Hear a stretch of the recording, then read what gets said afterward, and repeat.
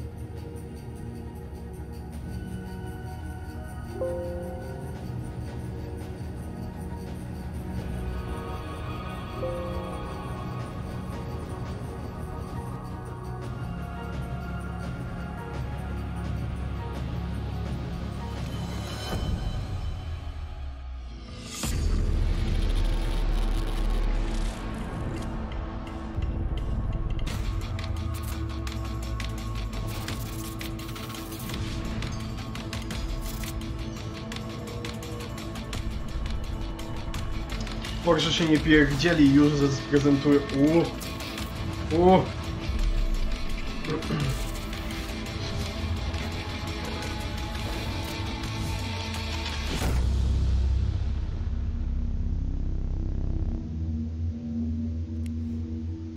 Hi everyone and welcome to the Porsche 911 GT3 World Premiere. Już można powiedzieć, My name is Sarah Elzer and I'm już super można powiedzieć, że excited samochód wygląda that live stream for you and I'm podobnie do tego, który widzieliśmy na zdjęciach szpiegowskich. you're all waiting for that moment, the moment of revelation. But before we show you the new member of the GT family, we'll present you the most important facts about it. And since we've got some international journalists watching our live stream, we'll answer some of their questions in a short Q&A session. I can promise though, your patience will be worth it. It's not a secret that Porsche sport cars are strongly related to numbers, and I want to highlight just one of them today, specifically number 7. And this is also a very magical number in our everyday's life. I mean, think about it. 7 days a week, 7 continents, 7 colors of the rainbow, James Bond, the seven world wonders, and I'm pretty sure we can add one more to that list today.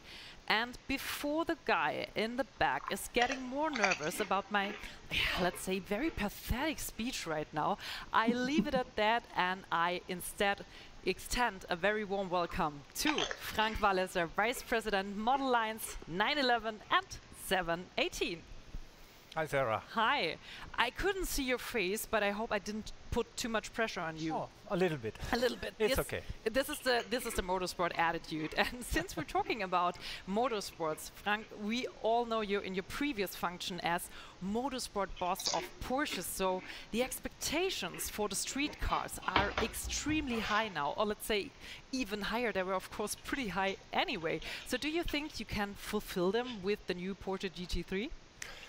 You're right. It's always uh, a high pressure to, to really improve, and um, um, expectations are rising. And uh, we are also in a in a constant um, race and, and um, between street car homologation and putting in as much racing technology as possible. And I think we did a big step on the car, a huge effort, maybe the highest effort we put ever in such a car. So I'm sure, yeah, we will fulfill. Yeah, let's see if you really can keep that promise later. But let's talk a little bit more about the technology because that is something we can't see at first glance. Um, what do you say? How much does it help to have all this motorsport expertise with the, the street cars, for example, like the GT3? For, for me that's always um, two sides. It's one is for sure it's the technology. Everything we learned about high revving engines about normally aspirated engines about suspension especially aerodynamics. I think we did a really big step on the aero side for the new gt3 but it's also spirit. Okay.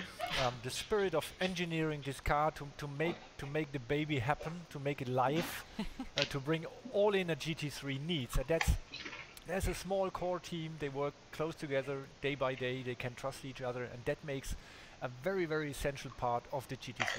I think you already delivered a quote for the journalists to bring that baby to life. I love that one. um, but since the people are thinking, maybe sometimes they're thinking right now, what is she talking about that with the number seven? What is that all about?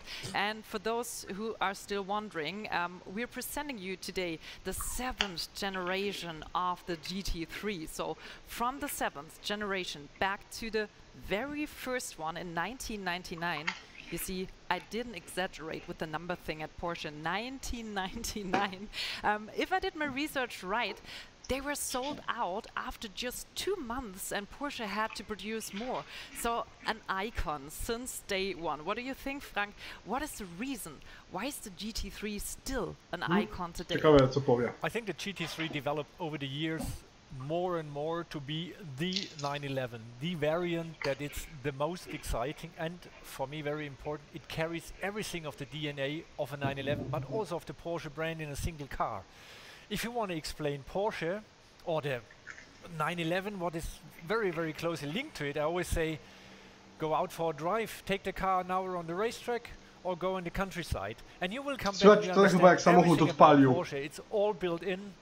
It's the essence of Porsche in a single car. And that made the GT3 over the over the years so special. And I think Tak. what gonna present W tle now. dzi- słychać działającą 911 nową. Yeah, and while this car already has made history, we write a new chapter of a whole new story today, and I think that's the perfect moment to meet the new one. And who could present it better than the father of the new GT3? Ladies and gentlemen, Mr. Andreas Andy Preuninger and the new Porsche 911 GT3. No, pokażcie ten samochód. Uuu, mam ciagę, mam ciagę. Kurwa.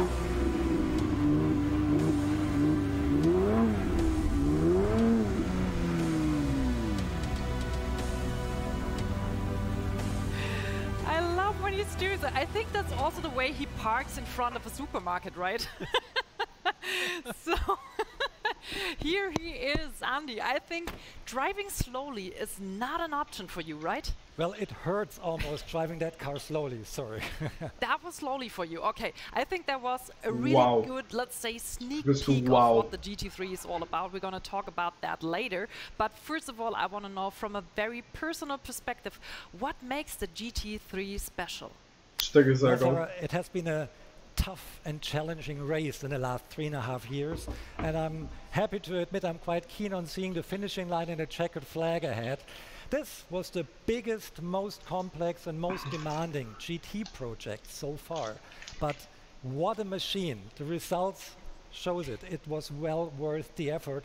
This is the most extreme, most exciting GT3 that we have ever developed. And for that reason, it's a very special car for me and my team. Yeah, and you said it already. This isn't just a car anymore. I think it's really a driving machine. But I have one question. Did you two race beforehand and the winner got to drive the car on the stage or no, no, so But yeah, it would be a good I- I- idea for the next time. Next time. but of course, Frank, you also drove it. Uh, so, what was your first thought when you jumped into the car and drove it really the first time? Well, that's always a very special moment if you get a, if you have a new variant, if you have a new GT3, um, and the engineering guys. Auto wygląda tak jak na zdjęć uh, szpiegowskich. Then you have to Genialnie. go back and ask them, can I drive? And Genialnie po prostu. first impression of a car to get the feedback if it's Zresztą really macie GT3, is w prawym górnym rogu zdjęcia szpiegowskie nowej the DNA 911 that to GT3. get uh, necessary for GT also to a new platform. What is not so easy, looking at the boundaries of homologation and everything. And uh, but I, I was I had two thoughts when I, when I finished the drive. One was, well, it happened. Everything is there what we need for such a car. Very relaxed on that side. On the other hand, I said, well, that's still a hell of work to do until it's finished. and he did a hell of work and he finished it, finished it in a very i think awesome way so thanks for now frank we'll see you later in the q&a session and for those with an already higher pulse during that short presentation of the car i think we can make your heartbeat even faster winding road and racetrack that's where a GT3 really feels at home. So let's have a look at the new Porsche 911 GT3 in action.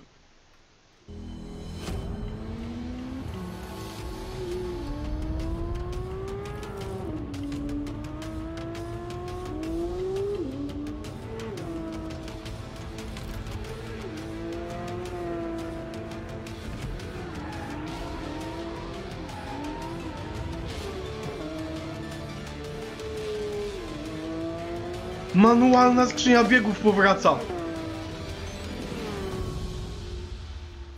Kyrie.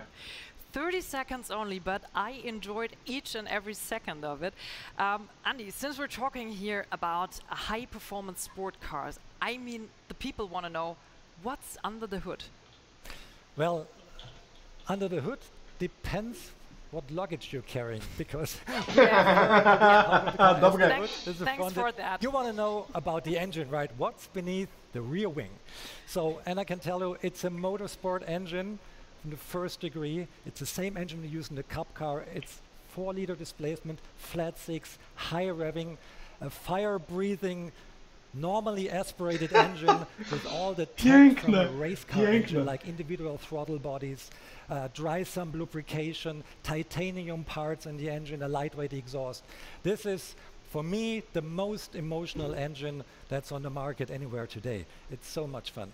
But it's not all that defines a GT3. It's a lot engine, but it's the rest also. And on that car, we have a complete new suspension, a double wishbone front axle for O, the first time. That's a Nowe zawieszenie z adaptacyjnym, I would say. nowe zawieszenie Uh, bigger adaptacyjne. wheels, bigger brakes, wider rims, and um, Większe that all on the okej, 992 okej. platform, and it's a little bit bigger, a little bit more competent, and um, it needed some lightweight trickery to keep the weight down, and that is dispersed all over the car. So all boxes ticked. Did I miss the part where you said how much horsepower this car has? No, This I've car has 510 horsepower, and um, that's a lot for a 1435 kilo car. And uh, that's exactly the sweet spot we're aiming at for having a driver's car and the perfect track tool for the weekend. And speaking of another very favorite topic of you, I mean, you're well known for putting your cars, let's say, on a diet. So, how much did you train off at this one? Well, uh, that brings us back to the hood. Finally, it's made of carbon fiber, and uh, we save some kilos here. And underneath Maska it z a super lightweight battery that brings the weight down even more. The rims are lighter than before. If you look at the glass throughout the car, there's super light, very thin glass, so we save about 5 kilos in 5 comparison kilo na samej, na samych just on the glass. szybach, wow. If you're a freak for carbon fiber, you get a roof in carbon fiber as well. Uh, puts down the car's weight another kilo and the rear wing and the whole section on the rear is painted but underneath even where you can see the cross members carbon fiber as well additionally around the engine we found another five kilos and it goes on and on and on the end result is this car is about the same weight as the predecessor but incorporating a lot more technology but you just talked about all the exterior components. So, what is about the interior? Did you also tweak something here to reduce We don't weight? stop at the interior. If you look closely, you'll find complete new ways of setting up the carpet in the car. It's complete new lightweight carpet. Uh, in comparison to the predecessor, it's about three or four kilos less and uh, quite substantial. Uh, we changed the seats a little bit, a little bit more edgy, give a little bit more support to the shoulders. And look at that microfiber cloth here. It's a dual layer with this blue shining through. It's perforated. It looks very sophisticated with the stitching. We like it a lot because it mirrors the exterior so well. So, for the record, you started that topic. So, let's dive into the girly talk because I love that application here. It's the same color as the outside color, and I learned that this color is called shark blue. So, who's the inventor of? I have to mention it again. Shark blue. Shark. I mean, the inventor of names is always our marketing piękny. department, and they were spot on with Shark Blue, I think, because Shark, what a beautiful, powerful, and elegant creature. I think it fits very well to the character of the GT3. But um, the color itself, I have to confess, I could contribute, and there's a little anecdote connected to that, because when I was on holiday, which is rarely. I was lying at the beach in August 27 in Sardinia, and this big, beautiful super yacht passed by, a 300 feet very elegant uh, super yacht, and it had this gleaming blue hull. I was on my feet taking my camera, said, that's exactly the color we need. And uh, the rest is history. Here it is. So this is what you do on your holidays, on your rally holidays. Well. and I think a lot of people out there, including myself, are very happy that this yacht wasn't orange or something like that. Um, but speaking of design, let's go to this. Well, I say huge rear wing and to that massive diffuser down there.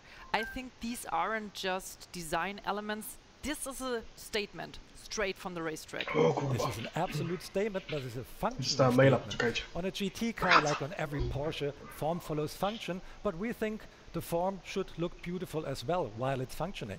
And um, this is the new way of, uh, of uh, supporting a, uh, a wing, a rear wing. If you turn around and look at the RSR race car, a swan neck spoiler, a swan neck wing, sorry, um, and um, it shows perfectly the technology transfer um, that we uh, live uh, with the GT cars, with the GT car, the GT race cars and the G street cars. So technology transfers from the track to the road, and this is a perfect example. And what works on a race car and makes it fast, it's good for a street car as well, is it? So it also depends now on the driver, but motorsport feeling is given here. Although the GT cars are inseparably connected to you, we have to mention there's a whole team Yeah. behind these cars. And of course, a lot of more energy. So energy, technology, energy as well, but technology. So let's have a look directly into the development of GT cars. No i jak wam tam się podoba? Nowe 911? Fajne, nie fajne? Napiszcie. YouTube też niech napisze. Well over 700 simulations. Czy tam słychać? Czy wam się podoba? The new 911 GT3 achieves 50% more downforce than the predecessor in its delivery settings. The high downforce setting allowed us to generate 150% more downforce than on the predecessor model. For the first time, these cars are coming with an adjustable front diffuser. Its four different Whoa. settings can regulate downforce at the front. This continues at the rear. Here we have a fully closed rear diffuser, which generates more than 60 kilograms in downforce at top speed. This time, the rear wing is suspended from above. The wing's upper surface is the pressure side that is significantly less susceptible to disturbances. The wing's underside is its suction side and reacts delicately to disturbance patterns. Not only the components, but also the development methods are very much alike those of motorsport vehicles. In the wind tunnel, we don't only simulate straight line driving, but actually check every position the car will take on the track. We let the car yaw, pitch, and roll to simulate ambient conditions on the track, which we then improve accordingly. Ale to fantastycznie wygląda w ogóle. This is a really light car, but brimming with engineering technology. We tried to get weight out of the car wherever possible so as to convey the most agile, emotional, and precise drive behavior. Speaking of emotions, it's not only a matter of having a light car that feels precise and agile, but the engine plays a vital role too, being the heart of the vehicle. With the GT3, Legacy demands a high revving aspirated engine with 9,000 revs, 510 horsepower, and 470 nanometers of torque to turn it into a first grade fun machine.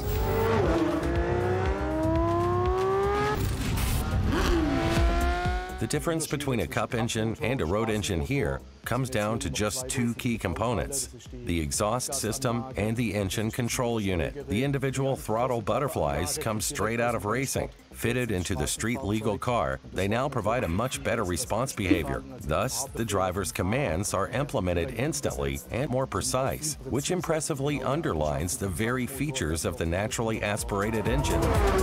The challenge of a high revving engine comes with the masses that need to be accelerated and decelerated time and again. The smaller dimensions of the mass itself, the easier it is to arrange and design it.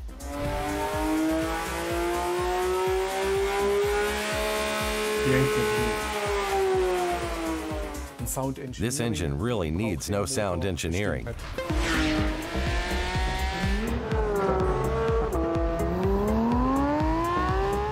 The car sounds superbly, especially from the inside. All mechanical sounds are clearly audible, arranged and composed into a beautiful melody. The cockpit is very sporty and clean, with every function extremely intuitively understood by the driver. We offer three different modes normal, sport, and track. Specific to the GT3 is the so called track view. It compacts all the information I need on the track or during a sporty outing to the immediate field of vision ahead of the driver. We see oil pressure and oil temperature, tire pressures, and of course, the large central rev counter. I truly love that track view. I mean, the best thing in my in my uh, very personal opinion is the shift light. It's unnecessary, but it's cool. It helps a lot. It helps a lot. And it's Oh. cool, yeah, right. Of course, it's always functional. If you put something in a car, it's functional. Um, and you once said about the GT3, and I quote, the emotions and the joy of driving, that's why we desire the car from the heart to the stomach. Yes, to the Correct. stomach. So poetic. but I think that's also the reason why you've tested the new one to the bone at Nordschleife with two very special and well-known experts. You're referring to our test driver dream team, Mr. 911, Jörg Bergmeister, who raced six generations of 911 race cars with huge success. Nobody knows the 911 better than he does. And Lars Kern, or should I name him Mr. Nordschleife, where so many record labs under his belt. There's nobody around that knows the Nordschleife better as him. And can you imagine what happens when you give both these guys a key to that car and give them a day off at the Nordschleife? Here's the story.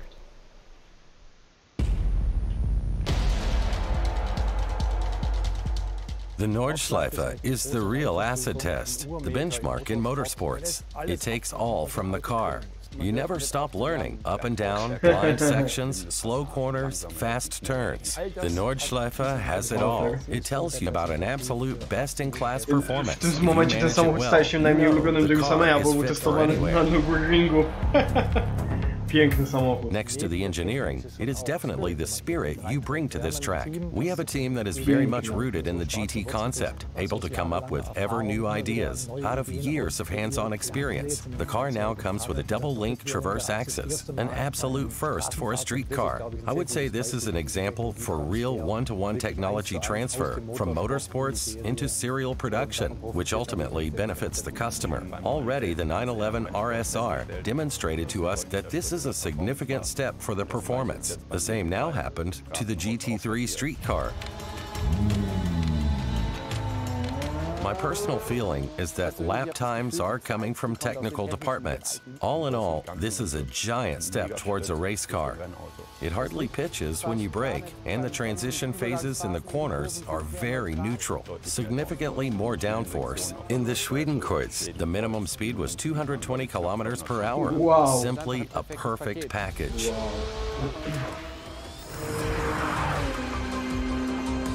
20 years ago, when the first GT3 hit the road, it was a dream car for Dobrze, me. że wstała homogeneous totality of engine transmission. Limited slip differently generates a tremendously exact driving behavior No, that like after Sky 15 News minutes się you wiedzieć, co mówi. infused together with the car. Legenda. Topping it all was the day when I was told we had to see what time we would be able to get out of the Nordschleife. Up until then, there was no serial production car that had made it in under eight minutes.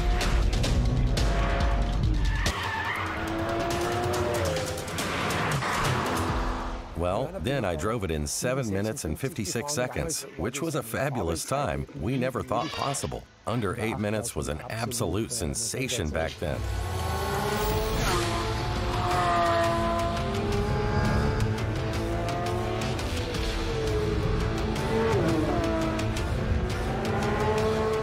If anyone had told me that in 20 years this kind of car could do it in less than 7 minutes, we would have replied that this is impossible. 1 minute is light years. Lap times are now Go, go. faster than with a Go, go. 918. This in turn tells you how fast the car is cornering. We got out and said, This is the best street car we have ever driven in our lives. The car is nearly 17 seconds faster than the predecessor, which is really breathtaking, especially if you drive it like this morning, with constancy and many laps after another, with two drivers who are separated by just three tenths of a second.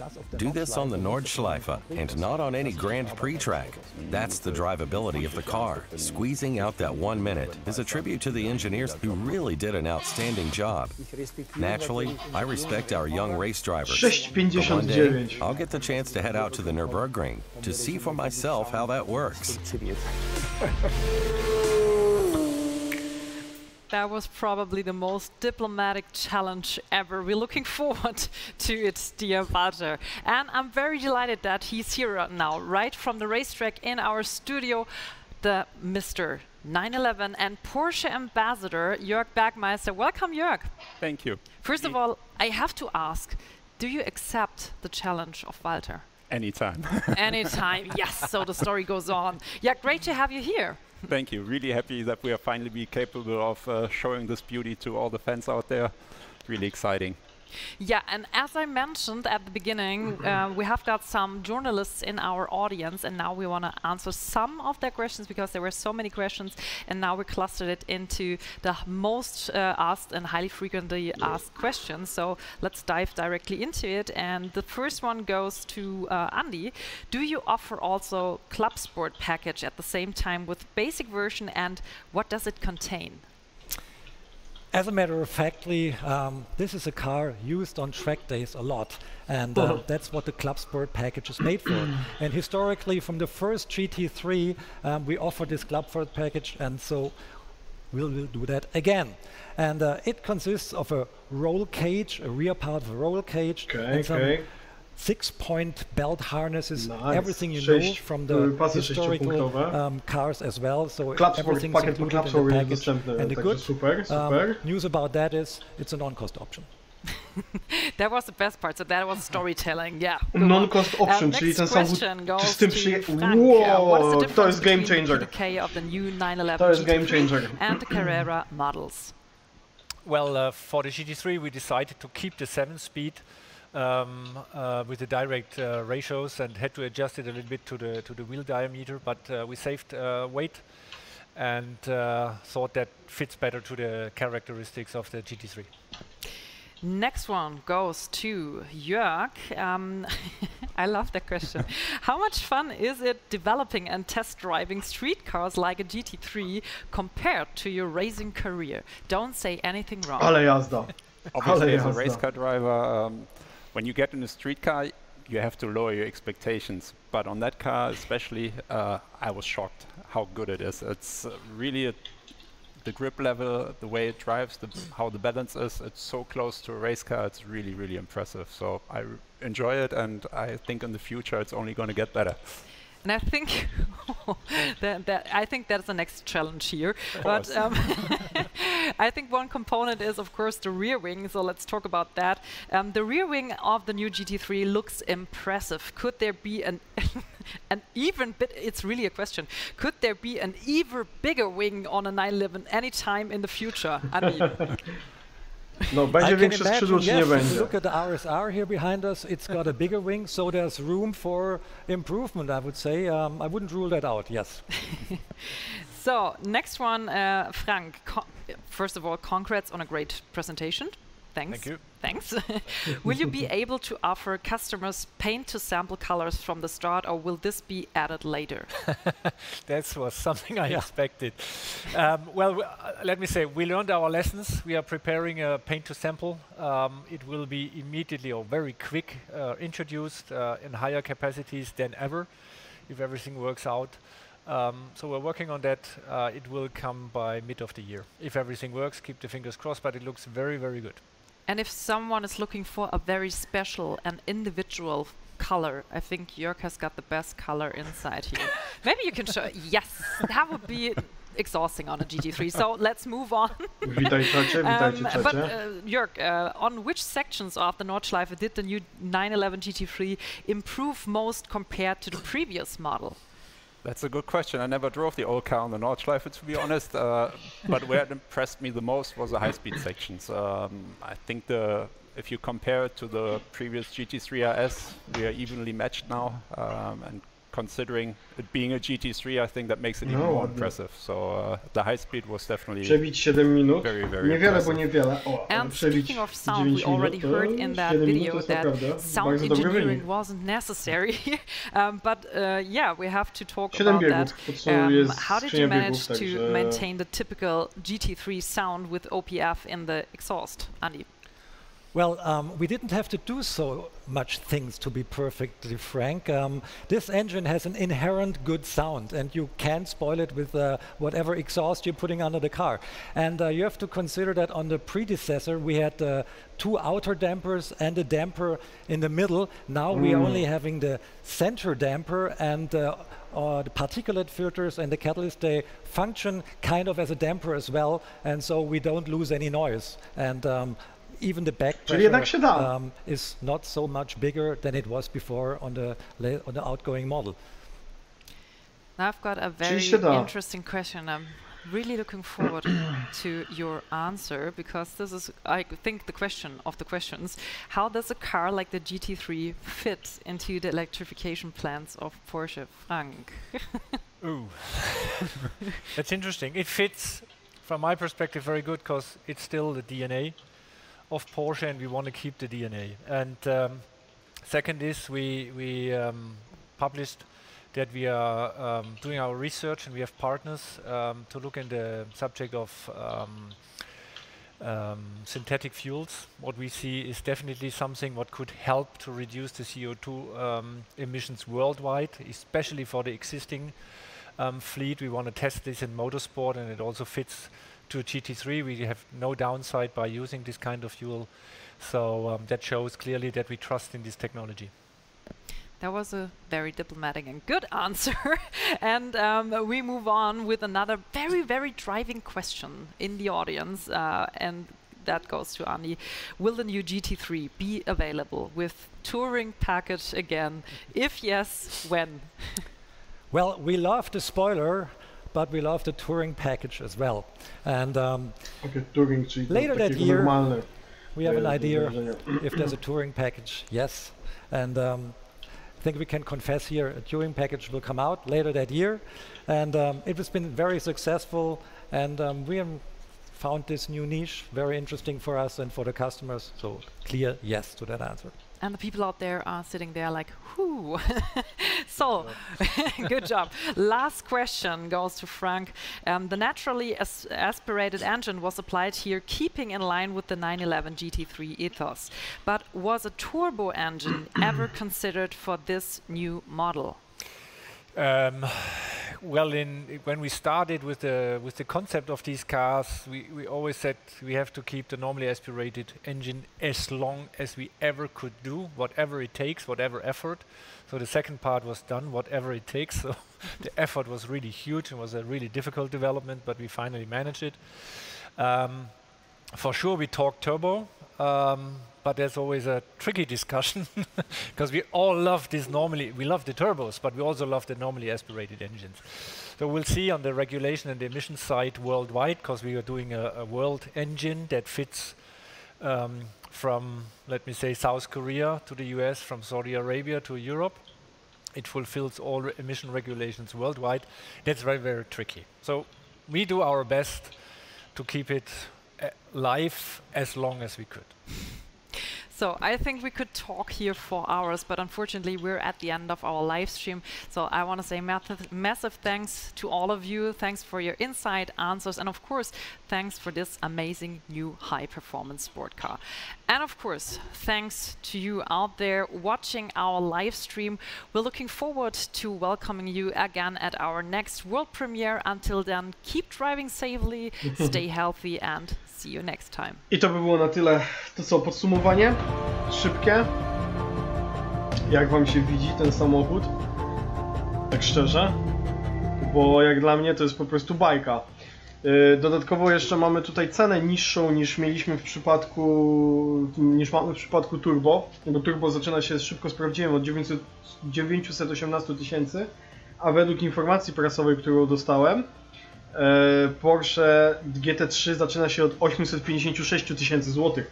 Także zaczyna się, że tak powiem, bardzo ciekawie robić i to może być game changer według mnie dla tego samochodu i automatycznie Porsche wjechało na jedną z tych, z tych wyższych wyższych e, stro kwestii stron, gdzie mogę, gdzie, gdzie po prostu człowiek patrzy i mówi sobie wow. To było najlepsze 35 minut, mm, jeżeli chodzi o prezentację, o wiele lepsze niż McLaren. A właśnie, co do McLarena, za 9 godzin dokładnie, premiera najnowszego McLarena, będzie to model Artura. Głupio brzmi, wiem. E, ale o tym może porozmawiamy sobie już na streamie po, związanym z McLarenem, także do zobaczenia za te 9 godzin niecałe. Będzie to środek nocy, wow. E, ja tymczasem Wam dziękuję za oglądanie. Zapraszam na fanpage i zapraszam na.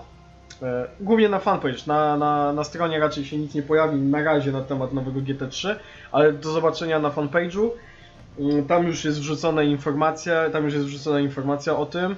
E, jeżeli oglądacie to na YouTubie, zostawcie sobie znak. Przede wszystkim dajcie znać w komentarzu, co sądzicie o najnowszym GT3. Samochodzie, który na prezentacji poszedł bokiem na wjeździe. Także e, dzięki wielkie za oglądanie.